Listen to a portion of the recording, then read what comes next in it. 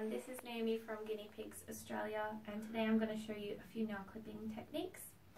The first one I'm going to show you is the floor technique. So here we have Henrietta, she's 10 years old and she is in need of a nail clip.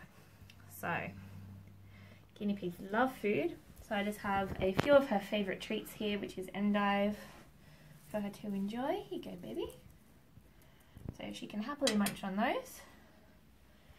Henrietta has quite dark nails.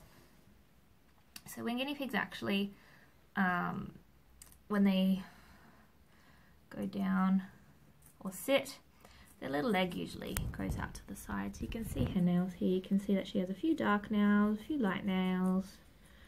So what you can do is you can just sneakily put your hand under there, or your finger, Spread the nails while she's happily chewing and clip.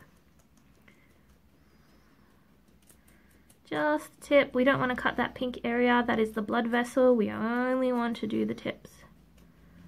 And that's it! Now clipping technique number one.